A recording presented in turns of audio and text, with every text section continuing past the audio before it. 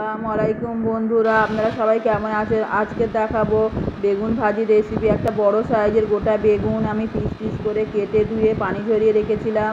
ওর মধ্যে এক চামচ হলুদ গুঁড়ো, হাফ চামচ লঙ্কার গুঁড়ো, এক চামচ নুন দিয়ে ভালোভাবে মাখিয়ে রেখেছি।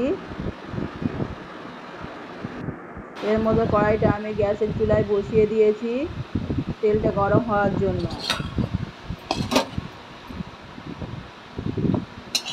তেলটা আমার ভালোভাবে গরম হয়ে গিয়েছে। এর মধ্যে বেগুনগুলো আমি সবগুলো ছেড়ে দিয়েছি। এক পিঠ ভাজার অপেক্ষায় পাঁচ মিনিট পরে আমি বেগুনগুলো উল্টিয়ে দেবো। গ্যাসের আঁচটা সবসময় আস্তে রাখতে হবে। তেলটা যাতে ভালোভাবে বেগুনের মধ্যে যায়, ওই জন্য আমি কড়াটা একবার ভালোভাবে নাড়িয়ে দিলাম। সব বেগুনগুলো যাতে ভালোভাবে ভাজা হয়। পাঁচ মিনিট পরে